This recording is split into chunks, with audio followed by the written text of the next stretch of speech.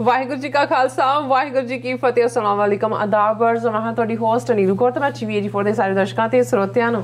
ਜੀ ਆਇਆਂ ਕਹਿੰਦੀ ਹਾਂ, ਪ੍ਰੋਗਰਾਮ ਸੱਚੋ ਸੱਚ ਵਿੱਚ ਜਿਹੜੇ ਇਸ ਪ੍ਰੋਗਰਾਮ ਨਾਲ ਦੇਸ਼ਾਂ ਵਿਦੇਸ਼ਾਂ ਤੋਂ ਜੁੜ ਚੁੱਕੇ ਨੇ। ਖਾਲਸਾਨਾ ਫੇਅਰ ਸੈਂਟਰ ਦੇ ਸੰਚਾਲਕ ਡਾਕਟਰ ਅਮਰਜੀਤ ਸਿੰਘ ਜੀ ਰੋਜ਼ਾਨਾ ਤਰ੍ਹਾਂ ਸਟੂਡੀਓ 'ਚ ਮੇਰੇ ਨਾਲ ਸ਼ਾਮਿਲ ਨੇ। ਉਹਨਾਂ ਨਾਲ ਗੱਲਬਾਤ ਕਰਕੇ ਅੱਜ ਦੇ ਐਮ ਸ਼ਿਸ ਉੱਪਰ ਉਹਨਾਂ ਤੋਂ ਉਹਨਾਂ ਦਾ ਤਬਸਰਾ ਜਾਣਦੇ ਹਾਂ। ਜੀ ਡਾਕਟਰ ਸਾਹਿਬ, ਵਾਹਿਗੁਰੂ ਜੀ ਕਾ ਖਾਲਸਾ, ਵਾਹਿਗੁਰੂ ਜੀ ਕੀ ਫਤਿਹ। ਹਾਂਜੀ ਨੀਲਮ ਕੌਰ ਜੀ ਤੁਹਾਨੂੰ ਵੀ ਤੇ ਦੁਨੀਆ ਭਰ ਚ ਬੈਠੇ ਸਾਡੇ ਬਹੁਤ ਹੀ ਪਿਆਰੇ ਸੋਹਣੇ ਸਿਆਣੇ ਟੀਵੀ 84 ਦੇ ਵਿਊਅਰਸ ਨੂੰ ਵੀ ਵਾਹਿਗੁਰੂ ਜੀ ਕਾ ਖਾਲਸਾ ਵਾਹਿਗੁਰੂ ਜੀ ਕੀ ਫਤਿਹ। ਤੇ ਸਾਡੇ ਬਹੁਤ ਹੀ ਪਿਆਰੇ ਮੁਸਲਮਾਨ ਭੈਣਾਂ ਭਰਾਵਾਂ ਨੂੰ ਅਸਲਾਮ ਵਾਲੇਕੁਮ ਜੀ ਡਾਕਟਰ ਸਾਹਿਬ ਜੀ ਆਇਆਂ ਨੂੰ ਪ੍ਰੋਗਰਾਮ ਸੱਚੋ ਸੱਚ ਵਿੱਚ ਬਹੁਤ ਮਿਹਰਬਾਨੀ ਜੀ ਡਾਕਟਰ ਸਾਹਿਬ ਅੱਜ 22 ਅੱਜ 21 ਦਸੰਬਰ 2022 ਸਤਪੋ ਨਾਨਕਸ਼ਾਹੀ ਸੰਮਤ 554 ਦਾ ਦਿਨ ਹੈ ਤੇ ਡਾਕਟਰ ਸਾਹਿਬ ਪ੍ਰੋਗਰਾਮ ਸ਼ੁਰੂ ਕਰਨ ਤੋਂ ਪਹਿਲਾਂ ਅਸੀਂ ਆਪਣੇ ਦਰਸ਼ਕਾਂ ਤੇ ਸਰੋਤਿਆਂ ਨੂੰ ਹਮੇਸ਼ਾ ਤਰ੍ਹਾਂ ਦੱਸੀ ਵਿਊਅਰਸ ਜੇ ਤੁਸੀਂ ਹੱਕ ਸੱਚ ਇਨਸਾਫ ਤੇ ਪੈਰਾ ਦਿੰਦਾ ਇੱਕੋ ਇੱਕ ਚੈਨਲ ਟੀਵੀ ਫੋਨ ਨੂੰ ਦੇਖਣਾ ਚਾਹੁੰਦੇ ਹੋ ਤਾਂ ਤੁਸੀਂ ਦੇਖ ਸਕਦੇ spectrum cable RCN cable Bell Fibe cable in Canada roku ਚਾਦੂ ਬਾਕਸ ਸ਼ਾਵਾ ਫੇਸਬੁੱਕ ਟੀਵੀ 84 ਦੀ ਐਪ ਰਾਹੀਂ online streaming and IP box ਤੇ ਤੁਸੀਂ ਟੀਵੀ 84 ਨੂੰ ਦੇਖ ਸਕਦੇ ਹੋ। ਵਿਊਅਰਸ ਜੇ ਤੁਸੀਂ ਟੀਵੀ 84 ਨਾਲ ਪ੍ਰੋਗਰਾਮ ਸੱਚੋ ਸੱਚ ਨਾਲ ਫੇਸਬੁੱਕ ਰਾਹੀਂ ਜੁੜੇ ਹੋ, ਤਾਂ ਇਸ ਨੂੰ ਵੱਧ ਤੋਂ ਵੱਧ ਲਾਈਕ ਕਰੋ ਤੇ ਸ਼ੇਅਰ ਕਰੋ ਅਤੇ ਨਾਲ ਹੀ YouTube ਤੇ ਸਬਸਕ੍ਰਾਈਬ ਵੀ ਕਰੋ। ਇਹ ਵੀ ਦੱਸ ਦਿਓ ਕਿ ਤੁਸੀਂ ਟੀਵੀ 84 ਦੀ ਐਪ ਨੂੰ Android ਐਂਡ App Store ਤੇ ਡਾਊਨਲੋਡ ਕਰਕੇ ਜੋ ਟੀਵੀ 84 ਦੀ ਲਾਈਵ ਸਟ੍ਰੀਮ ਹੈ, ਉਸ ਨੂੰ ਤੁਸੀਂ 24 ਆਵਰਸ ਦੇਖ ਸਕਦੇ ਹੋ। ਸੋ ਵਿਊਅਰਸ ਪ੍ਰੋਗਰਾਮ ਦੀ ਸ਼ੁਰੂਆਤ ਕਰਾਂਗੇ ਅੱਜ ਦੀ ਸਪਾਂਸਰਸ਼ਿਪ ਦੇ ਵਾਲੇ ਨਾਲ ਕਿ ਅੱਜ ਦੇ ਪ੍ਰੋਗਰਾਮ ਸੱਚੋ ਸੱਚ ਨੂੰ ਸਪਾਂਸਰ ਕੀਤਾ ਗਿਆ ਹੈ। ਟੋਰਾਂਟੋ ਤੋਂ ਸਰਦਾਰ ਭੁਪਿੰਦਰ ਸਿੰਘ ਜੀ ਵੱਲੋਂ। ਸੋ ਇਹਨਾਂ ਨੇ ਕੌਮੀ ਕਾਰ ਖਾਲਿਸਤਾਨ ਦੀ ਗੱਲ ਕੀਤੀ ਹੈ ਔਰ ਕਿਹਾ ਹੈ ਕਿ ਇਹਨਾਂ ਜਿਹੜਾ ਟੀਵੀ 84 ਦੇ ਜਿਹੜੇ ਸਮੂਹ ਸਪਾਂਸਰ ਨੇ ਉਹਨਾਂ ਨੇ ਉਹਨਾਂ ਦਾ ਧੰਨਵਾਦ ਕੀਤਾ ਹੈ।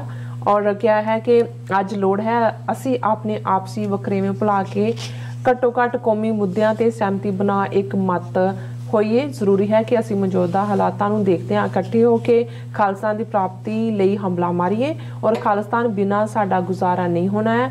ਔਰ ਸਾਨੂੰ ਕੌਮੀ ਨਿਸ਼ਾਨੇ ਪ੍ਰਤੀ ਪ੍ਰੇਰਿਤ ਕਰਨ ਲਈ ਡਾਕਟਰ ਅਮਰਜੀਤ ਸਿੰਘ ਦਾ ਧੰਨਵਾਦ। ਸੋ ਅੱਜ ਦੀ ਸਪਾਂਸਰਸ਼ਿਪ ਲਈ ਅਸੀਂ ਸਰਦਾਰ ਭਪਿੰਦਰ ਸਿੰਘ ਜੀ ਉਹਨਾਂ ਦਾ ਤਹਿ ਦਿਲ ਤੋਂ ਧੰਨਵਾਦ ਕਰਦੇ ਹਾਂ। ਤੁਹਾਨੂੰ ਵੀ ਅਪੀਲ ਤੇ ਬੇਨਤੀ ਕਰਦੇ ਹਾਂ ਕਿ ਤੁਸੀਂ ਵੀ ਪ੍ਰੋਗਰਾਮ ਸੱਚੋ ਸੱਚ ਨੂੰ ਵੱਧ ਤੋਂ ਵੱਧ ਸਪਾਂਸਰ ਕਰੋ। ਸਪਾਂਸਰਸ਼ਿਪ ਲਈ ਤੁਸੀਂ ਸਾਨੂੰ ਕਾਲ ਕਰ ਸਕਦੇ ਹੋ। ਸਾਡੇ ਫੋਨ ਨੰਬਰ ਤੇ 516 61911984 ਸੇਮ ਨੰਬਰ ਤੇ WhatsApp ਕਰ ਸਕਦੇ ਹੋ। ਤੁਸੀਂ ਸਾਨੂੰ ਈਮੇਲ ਵੀ ਕਰ ਸਕਦੇ ਹੋ info@tv4.tv ਤੇ। ਸੋ ਵੀਅਰਸ ਪਹਿਲੇ ਸੈਗਮੈਂਟ ਦੇ ਵਿੱਚ ਗੱਲਬਾਤ ਕਰਨ ਜਾ ਰਹੇ ਹਾਂ। ਕਿ ਪਹਿਲਾਂ ਤਾਂ ਸ਼ੁਰੂਆਤ ਕਰਾਂਗੇ ਇਹਨਾਂ ਤੁਕਾਂ ਰਾਈ ਕਿ ਇਨ ਪੁੱਤਰਨ ਕੇ ਸੀਸ ਪਰ ਵਾਰ ਦਿਏ ਸੁਤਚਾਰ, ਚਾਰ ਮੋਏ ਤੋਂ ਕਿਆ ਹੁਆ, ਜੀਵਤ ਕਈ ਹਜ਼ਾਰ। ਸੋ ਅੱਜ 21 ਦਸੰਬਰ ਦਾ ਦਿਨ ਗੁਰੂ ਗੋਬਿੰਦ ਸਿੰਘ ਸਾਹਿਬ ਜੀ ਦੇ ਲਖਤੇ ਜ਼ਿਕਰ।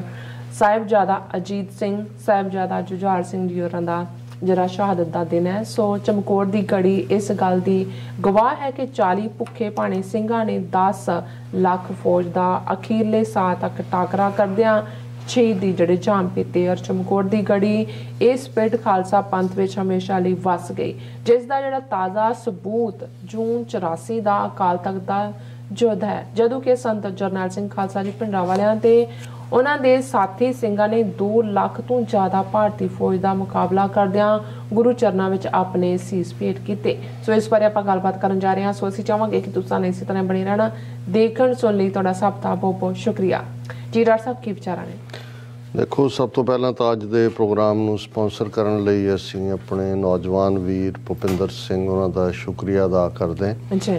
ਇਹ ਸਪਾਂਸਰ ਹੀ ਸਾਡੀ ਟੀਵੀ 84 ਦੀ ਕੰਟੀਨਿਊਟੀ ਦਾ ਕਾਰਨ ਨੇ। ਬਿਲਕੁਲ। ਔਰ ਅਸੀਂ ਇਹ ਪੁਰਜ਼ੋਰ ਅਪੀਲ ਵੀ ਕਰਦੇ ਹਾਂ ਕਿ ਬਾਰ-ਬਾਰ ਜਿਹੜੇ ਕਰਨ ਵਾਲੇ ਨੇ ਸਪਾਂਸਰ ਉਹਨਾਂ ਵਾਲੀ ਸਾਨੂੰ ਜਾਣਾ ਪਏ। ਇਹਦੇ ਨਾਲੋਂ ਇਹ ਵੀ ਚੰਗਾ ਹੋਏਗਾ ਕਿ ਸਾਡੇ ਕਾਮਨ ਵਿਊਅਰ ਵੀ ਜਿਹੜੇ ਸਮਝਦੇ ਨੇ ਕਿ ਟੀਵੀ 84 ਕੋਈ ਯੂਸਫੁਲ ਮੈਸੇਜ ਦੇ ਰਿਹਾ ਹੈ ਕੋਈ ਲਾਈਵ ਬੰਦਾ ਕੰਮ ਕਰ ਰਿਹਾ ਹੈ ਤੇ ਉਹ ਵੀ ਵਲੰਟੀਅਰ ਕਰਨ ਤਾਂ ਕਿ ਇਸ ਅਦਾਰੇ ਨੂੰ ਅਸੀਂ ਚੱਲਦਾ ਰੱਖ ਸਕੀਏ।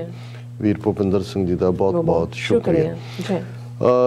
ਇਹ ਦਿਨ ਜਿਵੇਂ ਕੱਲ ਦਾ ਪ੍ਰੋਗਰਾਮ ਵੀ ਆਲਮੋਸਟ ਜਿਉਂ ਹੀ ਅਸੀਂ ਗੱਲ ਸ਼ੁਰੂ ਕਰਦੇ ਆਂ ਭਾਵਕਤਾ ਜਿਹੜੀ ਹੈ ਉਹ ਟੇਕ ਓਵਰ ਕਰ ਲੈਂਦੀ ਹੈ। ਬਿਲਕੁਲ। ਔਰ ਇਹ ਕੋਈ ਸਾਡੇ ਮਨ ਦੀ ਅਵਸਥਾ ਹੀ ਨਹੀਂ ਹੈ। ਦੁਨੀਆ ਭਰ ਦੇ ਵਿੱਚ ਜਿੱਥੇ ਜਿੱਥੇ ਵੀ ਗੁਰੂ ਕੇ ਪਿਆਰੇ ਵਸਦੇ ਨੇ ਇਹਨਾਂ ਦਿਨਾਂ ਦੇ ਵਿੱਚ ਉਹਨਾਂ ਦੀ ਮਾਨਸਿਕ ਸਥਿਤੀ ਦੇ ਉੱਤੇ ਸਾਕਾ ਚਮਕੌਰ ਸਰਸਾ ਦਾ ਕੰਡਾ ਆਨੰਦਪੁਰ ਦਾ ਕਿਲਾ ਮਾਛੀਵਾੜੇ ਦਾ ਸੱਥਰ ਤੇ ਫਿਰ ਸਰਹੰਦ ਦੀ ਕੰਧ। ਜੀ। ਉਹ ਦਿਨ ਹੋਏ ਰਾਤ ਹੋਏ ਤੁਸੀਂ ਕੁਝ ਕੰਮ ਵੀ ਕਰ ਰਹੇ ਹੋ ਫਿਰ ਵੀ ਜਿਹੜਾ ਉਸ ਪਾਸੇ ਹੀ ਧਿਆਨ ਜਾਂਦਾ ਹੈ। ਕਿਉਂਕਿ ਇਹ ਇੱਕ ਐਸਾ ਫਖਰਯੋਗ ਇਤਿਹਾਸ ਵੀ ਹੈ ਦਰਦਨਾਕ ਵੀ ਹੈ। ਖਾਸ ਤੌਰ ਤੇ ਜਦੋਂ ਛੋਟੇ ਸਾਹਿਬਜ਼ਾਦਿਆਂ ਦਾ ਜਿਉਂਦੇ ਜੀ ਕੰਧਾਂ ਵਿੱਚ ਕੰਧ ਵਿੱਚ ਚਿਣਿਆ ਜਾਣਾ। ਮਾਤਾ ਗੁਜਰੀ ਜਿਨ੍ਹਾਂ ਦੀ ਉਮਰ 80 ਸਾਲ ਤੋਂ ਜ਼ਿਆਦਾ ਹੈ ਉਹਨਾਂ ਦੀ ਸ਼ਹਾਦਤ। ਬਿਲਕੁਲ। ਔਰ ਇਸ ਦੇ ਨਾਲ ਨਾਲ ਜਦੋਂ ਤੁਸੀਂ ਪਾਵਕਤਾ ਦੇ ਉਹਨਾਂ ਪਲਾਂ ਨੂੰ ਆਪਣੇ ਪਰਿਵਾਰਾਂ 'ਚ ਆਪਣੇ ਪੁੱਤਰ ਧੀਆਂ ਜਿਨ੍ਹਾਂ ਦੇ ਮੋਹ ਦੇ ਵਿੱਚ ਅਸੀਂ ਗ੍ਰਸੇ ਹੋਏ ਆ ਉਹਨਾਂ ਦੇ ਨਾਲ ਜਿਹੜਾ ਉਹ ਕੰਪੇਅਰ ਕਰੀਏ ਫਿਰ ਹੋਰ ਵੀ ਇੱਕ ਭਾਵਨਾ ਦਾ ਪ੍ਰਵਾਹ ਹੁੰਦਾ ਹੈ ਕਿ ਭਾਈ ਅਸੀਂ ਆਪਣੇ ਬੱਚੇ ਬੱਚੀਆਂ ਦੀ ਇੱਕ ਨਿੱਕੀ ਜਿਹੀ ਪੀੜ ਨਹੀਂ ਸਹਿ ਸਕਦੇ। ਤੇ ਕਿਵੇਂ ਗੁਰੂ ਕਲਗੀਧਰ ਪਾਤਸ਼ਾਹ ਨੇ ਕਿੰਨਾ ਵੱਡਾ ਜਿਗਰਾ ਉਸ ਬਾਪ ਦਾ ਹੈ। ਔਰ ਕੱਲਾ ਇਹੀ ਨਹੀਂ ਜੇ ਤੁਸੀਂ ਗੁਰੂ ਕਲਗੀਧਰ ਪਾਤਸ਼ਾਹ ਦਾ ਸਮੁੱਚਾ ਜੀਵਨ ਲਗਭਗ 42 ਸਾਲਾਂ ਦੀ ਉਹਨਾਂ ਦੀ ਦੁਨਿਆਵੀ ਉਮਰ ਜੋ ਸਾਡੀ ਅੱਖ ਦੇਖਦੀ ਹੈ ਉਹਦੇ 'ਚ ਦੇਖੋ ਤੇ ਫਿਰ ਸਾਰੀ ਜ਼ਿੰਦਗੀ ਚੈਲੰਜਸ ਨਾਲ ਹੀ ਭਰੀ ਹੋਈ ਹੈ। ਬਿਲਕੁਲ। ਔਰ 9 ਸਾਲ ਦੀ ਉਮਰ 'ਚ ਪਿਤਾ ਦੀ ਸ਼ਹਾਦਤ ਔਰ ਇਹ ਕੋਈ ਛੋਟਾ ਵਾਕਿਆ ਨਹੀਂ ਸੀ ਗੁਰੂ ਤੇਗ ਬਹਾਦਰ ਸਾਹਿਬ ਦੀ ਸ਼ਹਾਦਤ ਦੇ ਨਾਲ ਜਿਸ ਕਿਸਮ ਦਾ ਮਾਹੌਲ ਸਿਰਜਿਆ ਗਿਆ ਇਹ ਮਹਿਜ਼ ਆਪਣੇ ਪਿਤਾ ਨੂੰ ਕੁਰਬਾਨ ਕਰਨਾ ਪਿਤਾ ਨੂੰ ਗਵਾਉਣਾ ਹੀ ਨਹੀਂ ਸੀ। ਇਹ ਸਿੱਧਾ ਸਿੱਧਾ ਟੱਕਰ ਦਾ ਕੰਮ ਸਿੱਧੀ ਸਿੱਧੀ ਲੜਾਈ ਦਿੱਲੀ ਦੀ ਰਜੀਮ ਦੇ ਨਾਲ ਦਿੱਲੀ ਦੀ ਹਕੂਮਤ ਦੇ ਨਾਲ ਜਿਸ ਦੀ ਸ਼ੁਰੂਆਤ ਜਦੋਂ ਹੁੰਦੀ ਹੈ। ਤੇ ਅਸੀਂ ਜੇ ਦੇਖੀਏ ਕਿ ਵਿਰੋਧ ਕਿੰਨਾ ਹੈ ਸਭ ਤੋਂ ਪਹਿਲਾਂ ਤਾਂ ਤੁਹਾਡਾ ਆਪਣੇ ਘਰ ਦੇ ਵਿੱਚ ਵਿਰੋਧ ਹੁੰਦਾ। ਅਸੀਂ ਦੇਖਦੇ ਹਾਂ ਕਿ ਕਿਵੇਂ ਗੁਰੂ ਅਰਜਨ ਸਾਹਿਬ ਦੀ ਸ਼ਹਾਦਤ ਦਾ ਕਾਰਨ ਜਿੱਥੇ ਵੇਲੇ ਦੇ ਹਾਕਮ ਨੇ ਉੱਥੇ ਉਹੀ ਬ੍ਰਾਹਮਣਵਾਦ ਦਾ ਸਿਲਸਿਲਾ ਸਿਸਟਮ ਜਿਸ ਨੂੰ ਚੰਦੂ ਲੀਡ ਕਰ ਰਿਹਾ ਹੈ। ਔਰ ਨਾਲ ਦੀ ਨਾਲ ਆਪਣਾ ਹੀ ਸਕਾ ਭਰਾ ਪ੍ਰਿਥਿਆ ਜਿਹੜਾ ਉਹ ਹਕੂਮਤ ਦੇ ਹੱਥਾਂ 'ਚ ਖੇਡਦਾ ਹੈ।